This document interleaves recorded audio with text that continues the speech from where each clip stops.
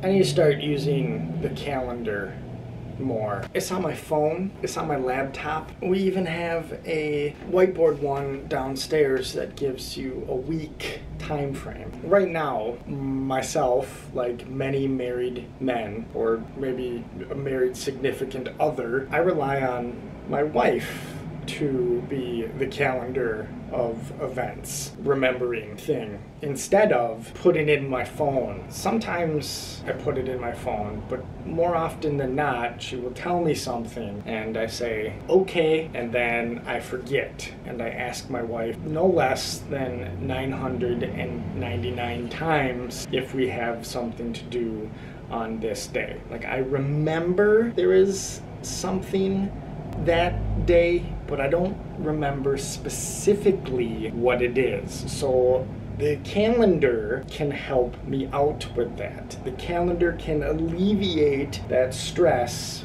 from my wife and allow me to be better prepared for things so I don't double plan events. So I don't have to call somebody and say, actually, because I forgot, we were going out of town that day. I can't have a beer with you. The calendar has been around for many, many, many years, and there are far better people that utilize the calendar than I do. So I am going to attempt at being better about using the calendar. A perfect example is I have been texting a friend to see if he wants to come over and have a beverage from my fridge in the garage. And in doing so, I will use that information on the day that he picks and I will put that in my calendar. So I will know that I got plans that day and that time. So I know not to add anything else on that day or that time and that day and time is specifically reserved